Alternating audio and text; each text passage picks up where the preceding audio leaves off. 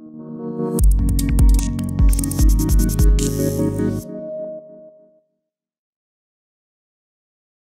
Hal Evans and I'm from the King's School Canterbury. Today I'm talking about the changing shapes of engineering. I'm going to start my talk about talking about manholes. Now manholes, they are most oft, often made circular. And they're made circular so they can't fall through the hole. Now this is because, obviously, the cover is of a larger diameter than the uh, hole in which it sits. So whatever rotation you orient, orientate the cover, it can never fall through the hole. Meanwhile, if you were to use a square manhole cover, you could pick it up, rotate it like this and this, and it would be able to fall through its hypotenuse, which is obviously longer than its side length. So I was interested in the um, in this aspect of the circle, and I was thinking, are there any other shapes that have the same property of constant width, is why it doesn't fall through the hole. So I'm going to start off. I'm going to start off by having inspection of two pound coins. Now, if you were to put two pound coins on a platform such as this and roll a ruler along the top, it's obvious that the two pound coin that the ruler stays parallel to the um, to the surface.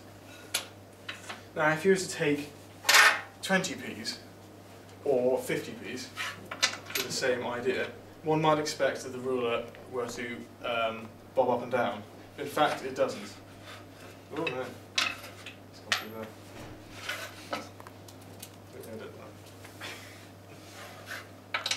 Yes, so if you put the 20p's in and they roll, the ruler stays parallel once again. So, in my research I discovered that the there was a simpler shape and this shape is this piece here. You might expect if you were to roll this board left and right that it, um, in fact, this left right hand side bobs up and down. However, in actual fact, it doesn't. And that's because this, the width of this piece is constant, and so is the circle, obviously. So I have actually made two, um, two of these shapes, and as you can see, the ruler, once again, stays parallel to the floor, even as they rotate.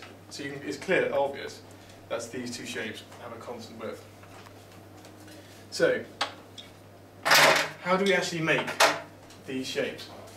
If you take a circle of uh, any diameter and then draw another circle, take an arbitrary point on that circle and draw another circle of the same diameter, and take the intersection of the new circle and the old circle, draw another circle the same diameter, and so on and so on, you pattern looks like this.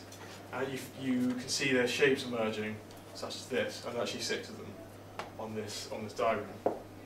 Now this is this shape. It is essentially an equilateral triangle with circular arcs drawn from this point like that, and that point like that, that point like that. And that is why it's a constant width. So considering this, um, this triangle, if you like, what is known as the Reuleaux triangle, um, has such similar properties to a circle, one might expect you're able to make a wheel out of it. Sadly, however, this is not actually the case because, as you can see here, A to point A to the centre P is slightly longer than the point P to B. Um, however, some people have actually refused to be defeated, um, such as this man here, who has made a bicycle out of um, the family of, of these shapes. Um, and it doesn't actually, if you were to, the axle actually moves up and down. So it is not the, it is not held by the axle. It is, it is, he is rolling essentially along the top of the frame of the, bi the um, bike, which remains parallel to the surface.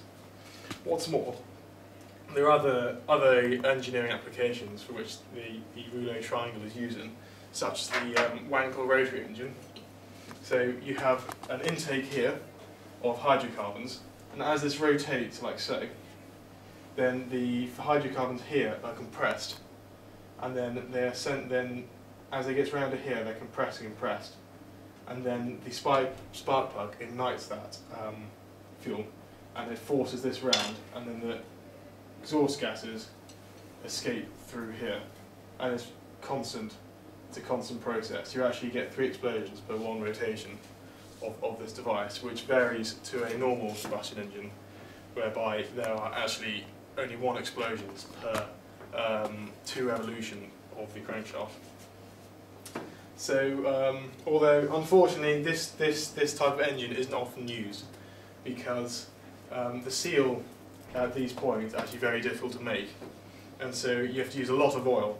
And also you get some hydrocarbons leaking through which results in exhaust gas containing hydrocarbons which um, is obviously not what you want when you're meeting energy efficiency. Although it is actually used in a, in a uh, Mazda car engine. There are also other applications of this, of this, of these shapes, such as you can drill a square hole with them, which might seem somewhat counterintuitive, but if you to put a point on this and rotate it, you would actually find the trace is a square.